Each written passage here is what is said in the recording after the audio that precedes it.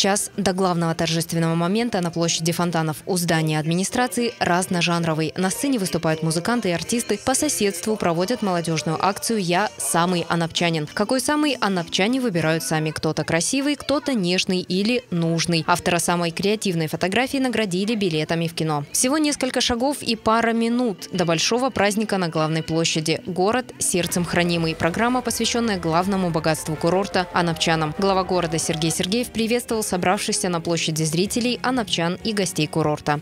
Мы работали на то, чтобы анапчанам и его гостям было комфортно на территории. Мы построили впервые за 20 лет новый детский сад. И скажу, что немногие знают, мы заканчиваем строительство еще одного детского сада. И закончим его в Красном Кургане в этом году. Мы планируем начать строить новую школу. И еще много-много дел. Мы реконструируем скверы. Мы обращаем внимание на наши сельские населенные пункты. А Анапа – это 52 населенных пункта. Я хочу выразить огромные слова благодарности. И сегодня мы с Леонидом Ивановичем будем вручать особо отличившимся людям знаки внимания, поощрения, общественные знаки внимания.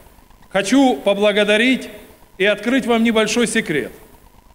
Мы делаем открытие и закрытие курортного сезона, практически исключив использование бюджетных средств.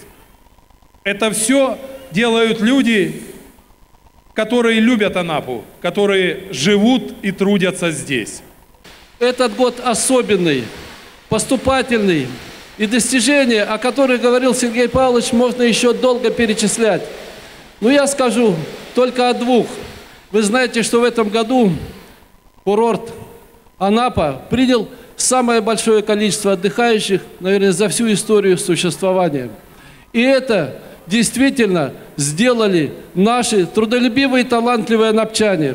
Самая высокая оценка заслуг жителей города – присвоение звания «Почетный гражданин города-курорта Анапа». В этом году этого звания удостоены генеральный директор санатория Анапа Борис Рогозян и дирижер Народного духового оркестра Валерий Степанов. Медалями за выдающийся вклад в развитие города-курорта Анапа награждены исполнительный директор предприятия Анапа Горгаз Нина Баклина, преподаватель по классу фортепиано детской школы искусств номер один Марина Кашуба и директор санатория «Аквамарин» Георгий Сингеров. Медалью Краснодарского края «Родительская доблесть» за заслуги в воспитании детей детей вклад в возрождение и укрепление семейных традиций награждена семья Мерещенко. Супруги воспитывают 8 детей. Отметили лучшую и наиболее эффективную работу ТОСов в городе и сельских населенных пунктах. Все победители получили денежные премии, благодарности и почетные грамоты главы города. 20 анапчан в этом году заслужили право отметиться на доске почета. Поздравляли в этот день молодоженов и юбиляров семейной жизни, которые в этом году отметили золотую свадьбу. Поздравили отца первого ребенка, родившегося в день города. Илья Баскаков родился в 12 ночи 18 минут и сразу став знаменитым, получил подарок главы города-курорта. Официальную часть сменила яркая творческая песенно-музыкальная. Впервые на курорте выступил краснознаменный ансамбль песни и пляски Черноморского флота России из города-героя Севастополя. Впечатлили даже искушенных.